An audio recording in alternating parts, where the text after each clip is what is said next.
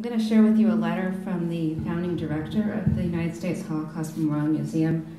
I just have to say, um, I met Ed this morning, and after watching your, your folks, um, they are so in you, and so much of the welcome and the, the heart that I feel here this morning. Uh, here goes the letter. To the family and friends of Stefania Podgorska Burzminski.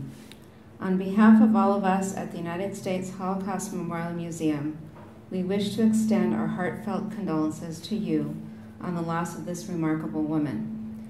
We were deeply honored to have known her, and we have such fond memories of her from the day the museum was dedicated, just about 25 and a half years ago.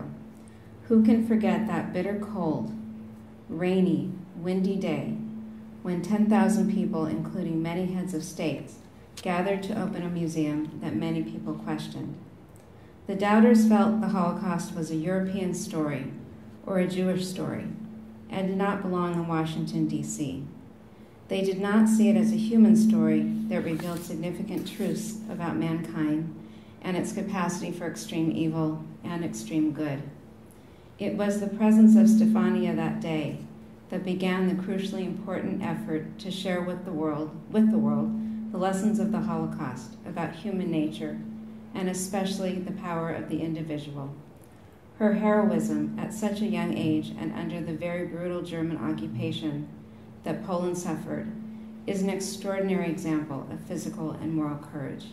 It began with food and ended up providing shelter to Jews, every single one of whom was targeted for death. And in Poland, as was mentioned, helping a Jew was punishable by death. As things got worse for both Jews and Poles, Stefania could have understandably lessened her heroic gestures. Most people would have, but she did not. She took her actions even further. Under the most horrific and dire circumstances, she maintained her own humanity and worked to provide human dignity at a time when very few did. She was rightly recognized by Yad Vashem as a righteous among the nations and in the permanent exhibition of our museum. Her exceptional legacy lives in those two institutions and in the lives of those who owe their survival to her. She lived a long and consequential life. Her story will inspire countless new generations. Stefania's legacy endures for the ages.